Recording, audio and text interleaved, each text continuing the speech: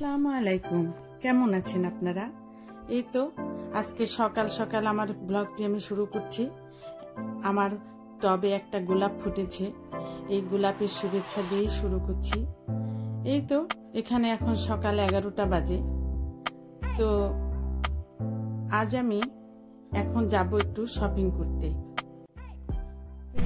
এখন যাচ্ছি শপিং করতে, সাপ্তাহিক শপিং তো শপিং শেষ করে এসে আপনাদেরকে আমি আজ দেখাবো কীভাবে আমার এই শপিংগুলো আমি জীবাণুমুক্ত করি। আর এই ফাঁকেই বলে রাখছি প্লিজ আমার চ্যানেলটিকে সাবস্ক্রাইব করবেন। এই তো বাজার করে ঘরে ফিরলাম। এখন এগুলো সব বের করতে হবে এক এক করে। সাপ্তাহিক বাজার করতে যেতেই হয়, যদিও খুব একটা এখন বাইরে যেতে ইচ্ছা করে না, তবুও লাগে। এগুলো তো আর অনেক দিনের জন্য কিনে রাখা যায় না, সেজন্যই যেতে হয়।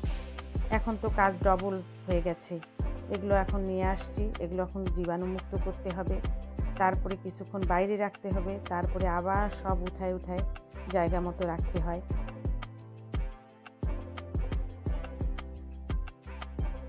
তো এই তো, আজ এত বছর আমি এখানে আসছি, এই বেগুনটা ছাড়া আমি কখনো অন্য কোনো বেগুন আমার চোখে পড়েনি। এই প্রথম আমি এই বেগুনটা পেয়েছি। যদি আমার বেলফাস্টের আপুরা দেখে থাকেন তাহলে এই বেগুনটা আপনারা লিডিলে পেয়ে যাবেন। আমি এই প্রথম আজকে এই বেগুনটা পেয়েছি। তো এই তো আমার শপিং সব বের করা শেষ। এখন আমি জীবাণুমুক্ত করার জন্য এখানে এক বালতি পানি নিয়েছি এবং এর মধ্যে সম ভিনেগার দিয়েছি। ভিনেগার দিয়ে এখন এগুলো সব ভিজায় রাখব দশ থেকে পনেরো মিনিট। আর এই যে দুধের জার, জুসের বটল এগুলো সব আমি এখন সাবান পানি দিয়ে ওয়াশ করে নেব।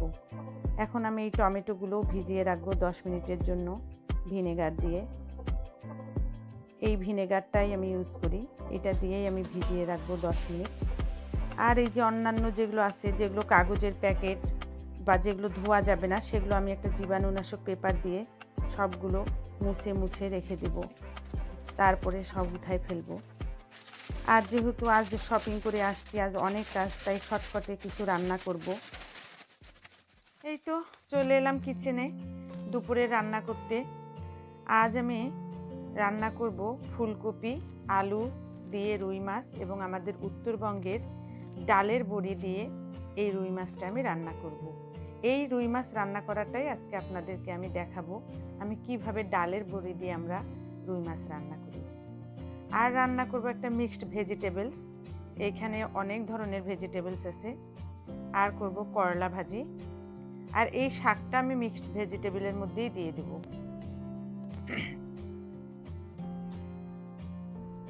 তো এই তো, এখন আমি রুই মাছগুলো ভিজিয়ে রেখেছিলাম, সেগুলো এখন আমি আপনাদেরকে দেখাবো, আমি রুই মাছটা কীভাবে ক্লিন করি।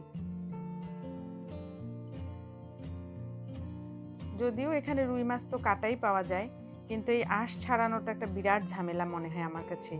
তাই এটা আমি কীভাবে ছাড়াই সেটাই এখন আপনাদেরকে দেখাবো। এই তো মাছগুলো আমি এখন একটা কেচি দিয়ে এভাবেই ইজিভাবে চামড়া এগুলো কেটে ফেলব।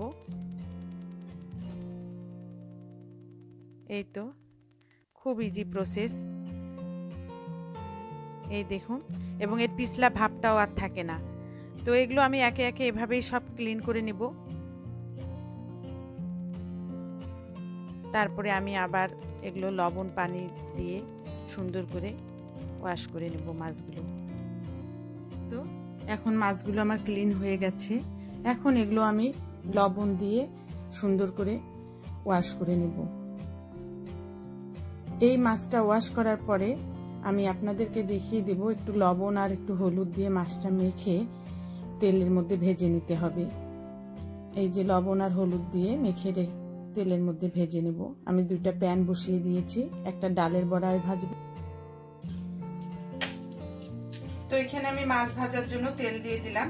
আমরা তো সরিষার তেলটা একটু বেশি খাই, তাই সরিষার তেলই দিয়ে দিলাম।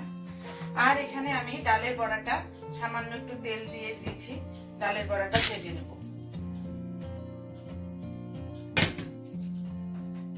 এই ডালের বড়াটা আমি তেলের মধ্যে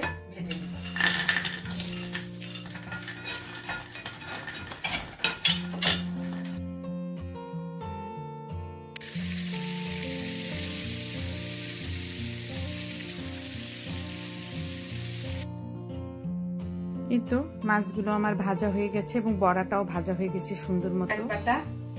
এই এটা হচ্ছে পাকা কাঁচামরিচ আমি একটু ভেজে বেটে নিয়েছি যাতে ফ্লেভারটা সুন্দর আসে আর টমেটো আর রেগুলার মশলা যা লাগে।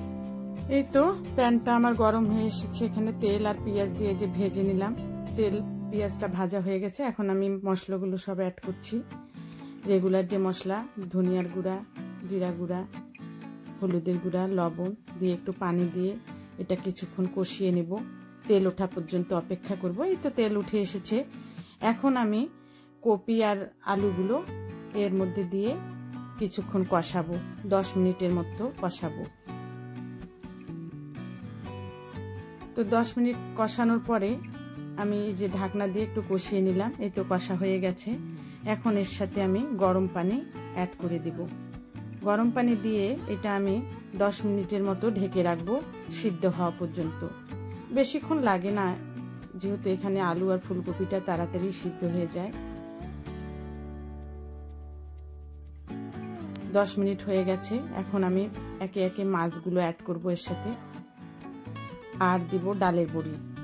ডালের বড়ি আর মাছটা অ্যাড করে আমি এটা আরও দশ মিনিট কুক করব। এখন আমি আপনাদেরকে ফাইনাল লুক দেখাচ্ছি। এই যে। আমার মাছ আর ফুলকপিটা হয়ে গেছে ডালের বড়ি দিয়ে। এটা অনেক সুস্বাদু, আপনারা রান্না করে খেয়ে দেখতে পারেন। এটা এখানেও পাওয়া যায়, ডালের বড়ি কিনতে মাঝে মাঝে পাওয়া যায়। আর রান্না করেছে এই যে ভেজিটেবলস আর করলা ভাজি। এই ফাঁকে আমার কিচেনটাও আমি ক্লিন করে নিয়েছি। তো আজকে এখানেই শেষ করছি আমার এই ব্লগটি। যদি ভালো লেগে থাকে অবশ্যই কমেন্ট করবেন। আল্লাহ হাফিজ।